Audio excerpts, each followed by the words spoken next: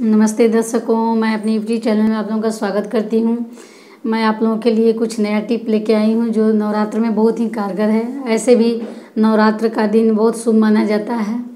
और नवरात्र जब तक रहता है, हम लोग बहुत मन लगा के माँ दुर्गा को याद करते हैं, पूजा करते हैं। जितना जिसके पास शक्ति और भक्ति रहता है, हम लोग अपना उसी अनुसार ये पूजा पाठ करते हैं।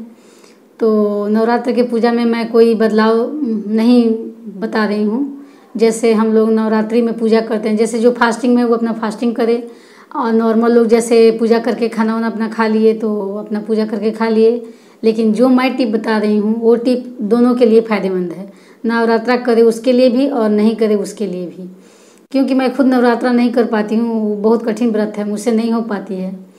तो मैं ये छोटा छोटा टिप ही पूजा में अपना अप्लाई करती हूँ, जिससे मुझे फ़ायदा मिलता है। तो मैं ये आप लोगों से भी शेयर कर रही हूँ। ये नवरात्र में कोई भी पूजा साधना जो है, आदमी इसलिए करता है कि नवरात्र के समय सभी देव, देवी देवता जागृत रहते हैं और उस समय हम लोग का मनोकामना निश्चित पूर्ण होता है। अगर दिल से हम लोग ईश्वर की आराधना करें तो। तो नवरात्र में मनोकामना पूर्ण करने के लिए मैं कुछ टिप लेके आई हूँ, जो आप लोगों से शेयर करूँगी। मैं पिछले वीडियो में आप लोगों को बता चुकी हूँ कि मैं कोई भी उपाय साधारण ही करती हूँ। मुझसे बड़ा और ये ज़्यादा मतलब ताम झाम वाले पूजा पाठ नहीं होते हैं हमसे। मैं सादा सिंपल अपने लाइफ में जो यूज़ करती हूँ, वहीं आप लोगों से आज शेयर कर रही हूँ। तो मैं पहला टिप ये बता रही हूँ कि ये नवरात्र जिस सात तारीख को स्टार्ट हो रहा है और विजयादशमी पंद्रह को पड़ रहा है। तो इस बीच में हम लोग ये सब जो टिप है, बता रही हूँ, उसको आजमाएँगे तो ज़रूर फ़ायदा मिलेगा। तो पहला टिप मेरा ये है कि पीपल का पत्ता ले लीजिए और उस पर पीला सिंदूर जो आता है, हनुमान जी को जो पीला सिंदूर से पूरा लेप लगाया जाता है शरीर पे तो वहीं पीला सिंदूर ले लीजिए और उस पीपल के पत्ते पे राम नाम लिख दीजिए। पीपल के पत्ते पे राम नाम लिख करके उस पत्ते को ले जाइए और हनुमान जी के मंदिर में, हनुमान जी के पास उस पत्ते को चढ़ा दीजिए और उस पर कुछ मीठा रख दीजिए। जैसे फल हो, मीठा, मिठाई हो मतलब कुछ भी मीठा चीज़ रखना है, उस पीपल के पत्ते पर कुछ मीठा रख करके चढ़ा दीजिए और हनुमान जी से प्रार्थना करिए कि, हे ईश्वर, मेरे घर में सुख, शांति, समृद्धि दीजिए या मुझे पैसों की कमी है तो मेरा ये आर्थिक कठिनाई दूर कीजिए या मेरे बच्चों पर दया करिए, मेरे बच्चे अच्छे से मन लगा कर नहीं पढ़ रहे हैं तो बच्चे पढ़ने में सक्सेस हों, पढ़ के उनका लाइफ मतलब अच्छा बने, या मेरे पास, ये चीज़ की कमी है मतलब जो आपके दिल में हो, जो आपको कष्ट हो, हनुमान जी से उस पत्ते पर मीठा चढ़ा के बोलिए और प्रार्थना करके वहाँ से चले आइए, डेली, नवरात्र भर। इस टिप को करने से आपको जीवन में जो भी कठिनाई है, वो दूर होना ही होना है। ईश्वर आप पर दया ज़रूर दिखाएँगे। हनुमान जी कष्ट के निवारण देवता हैं तो ये टिप आपको मतलब फ़ायदा करेगा ही करेगा। दूसरा, अगर आपके पास समय है पूजा करने के घर में, पूजा जैसे नियम से किए, कर लिए उसके बाद शिवलिंग पे जा कर के शिव के मंदिर हो, या कोई भी मंदिर हो मतलब उसमें शिवलिंग होना चाहिए। शिवलिंग के पास जाइए, बेलपत्र चढ़ाइए, चावल चढ़ाइए, और शिव जी से भी प्रार्थना करिए कि हे शिव जी, हे भोलेनाथ, हम पर दया करें। मेरी ये मनोकामना है, पूर्ण नहीं हो पा रही है।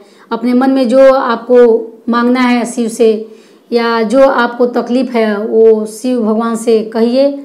और कह के वहाँ माथा टेकिए और चले आइए। ये टिप भी आप सात से पंद्रह तारीख तक डेली करते रहिए। जैसे पीपल के पत्ता वाला डेली करते रहना है, उसी तरह ये टिप भी डेली करते रहना है।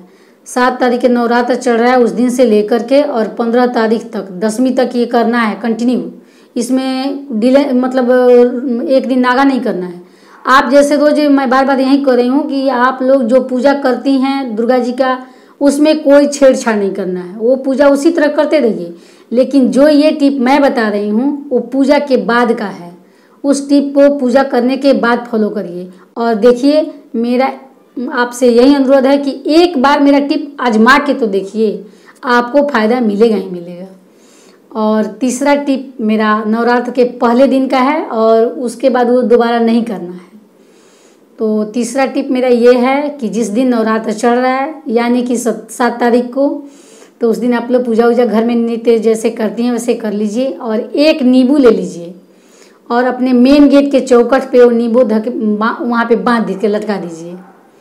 वो नींबू क्या करिए, अपने मेन गेट के चौकट पे बाँध के लटका दीजिए और छोड़ दीजिए। इससे आपको फ़ायदा ये होगा कि आप आपके ऊपर बुरी नज़र नहीं लगेगी, आपके परिवार के ऊपर बुरी नज़र नहीं लगेगी, और आपके परिवार में किसी का तबीयत बहुत ज़्यादा खराब हो तो उससे बंधवाइए तो और बेहतर, क्योंकि उसके स्वास्थ्य में भी फ़ायदा होगा। हम ये नहीं करें कि अब दवा ववा छोड़ दीजिए, नींबू लटका के कहिए कि स्वस्थ हो जाए।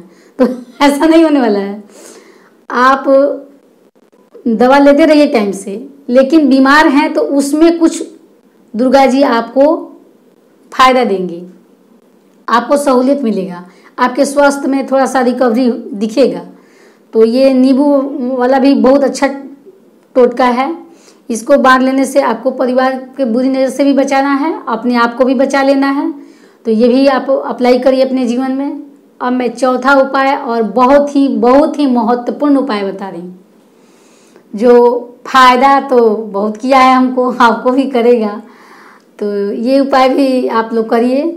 और अगर मेरा वीडियो आप लोगों को पसंद आए तो लाइक करिए शेयर करिए कमेंट करिए सब्सक्राइब ज़रूर कीजिए ताकि मैं ऐसा ऐसा कोई भी टिप आप लोगों के सामने लाऊं तो आपको तुरंत के तुरंत ये टिप पता चल जाए और समय रहते आप उस टिप को फॉलो करें, अपने जीवन में उसका लाभ उठाएँ। तो मैं अब चौथा और आखिरी टिप बता रही हूँ। तो ये मेरा टिप है कि नवरात्र के दूसरे दिन का। ये सब तो जितना मैं बताई हूँ, वो सब पहले दिन का था।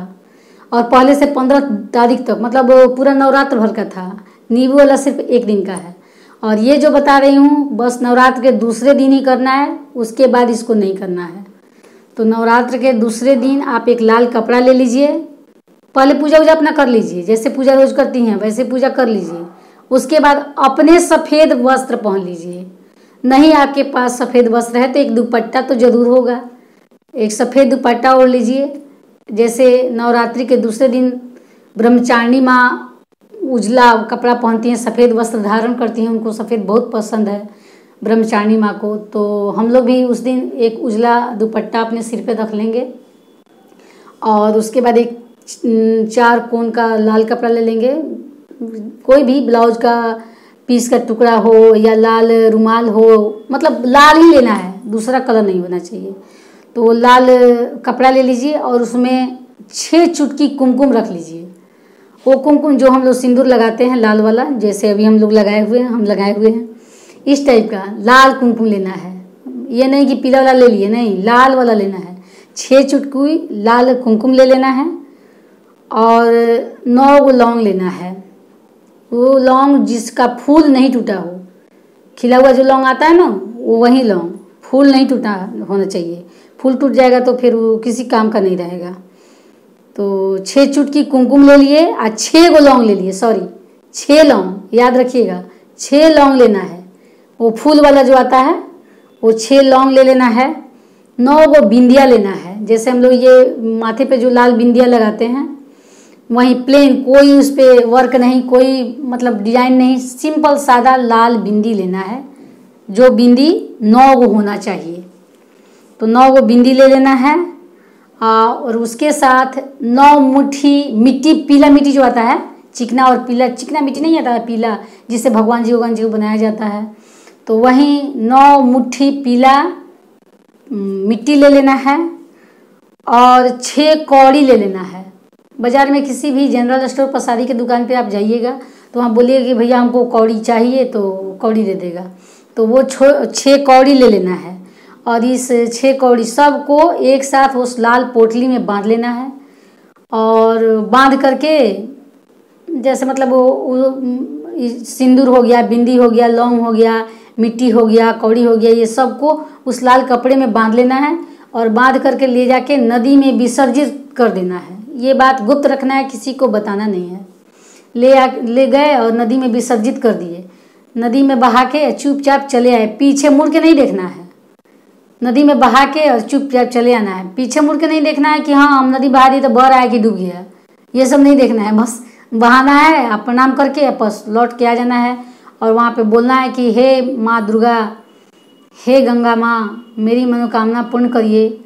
मुझे भवन दीजिए, भूमि दीजिए, वाहन दीजिए। अगर आपका मकान नहीं बन रहा है, उसमें भी ये टिप कारगर है। अगर आप ज़मीन ले लिए हैं और किसी कारण बस बाधा है, नहीं बन पा रहा है, बहुत मतलब जब आप काम लगाना चाहते हैं तो कुछ ना कुछ बिंग बाधाता है।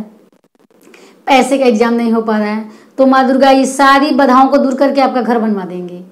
अगर आप ज़मीन लेना चाह रही हैं, पैसा होते हुए भी बीस जगह भटक रही हैं, आपके मन के लायक ज़मीन नहीं मिल रहा है तो कहीं दाम ज़्यादा हो रहा है मतलब कुछ भी प्रॉब्लम है तो उस प्रॉब्लम को भी दुर्गा माँ कर नष्ट कर देंगी और आपको ज़मीन लेने में भी सहूलियत मिलेगी। अगर आप फ्लैट ले रही हैं, पसंद नहीं आ रहा है या लोकेशन अच्छा नहीं है तो ये सब में भी आपको दुर्गा माँ मदद करेंगी। अगर आपको मन है फोर व्हीलर पर घूमने का, पैसा है लेकिन अभी नहीं ले पा रही हैं, या पैसे का एग्ज़ाम नहीं हो पा रहा है जिसके चलते आप नहीं ले पा रही हैं तो उसमें भी ये कारगर है। तो आप ज़मीन लेना हो, मकान लेना हो, या कोई वाहन लेना हो, सब में ये टिप, जो मैं लाल कपड़े वाला टिप बताई हूँ, नवरात्र के दूसरे दिन वाला, सब में ये टिप कारगर है। और आपको ये टिप आजमा कर देखना है कि फ़ायदा करता है कि नहीं। एकदम फ़ायदा करेगा। मेरा मतलब मानना है, मेरा दावा है कि आपको फ़ायदा करेगा। ये आजमाइए और नवरात्रि खुशी हँसी से मनाइए। और इसी के साथ मैं अपना वीडियो एंड करती हूँ और आप लोगों से विदा लेने से पहले हैप्पी नवरात्रि। आप लोगों को भी शुभ नवरात्रि और मेरे लिए भी। और मुझे लाइक करिए सब्सक्राइब करिए, ताकि मैं अगला वीडियो आप लोगों के लिए जल्द से जल्द लेके हाजिर हो जाऊँ। तो ओके बाय टेक केयर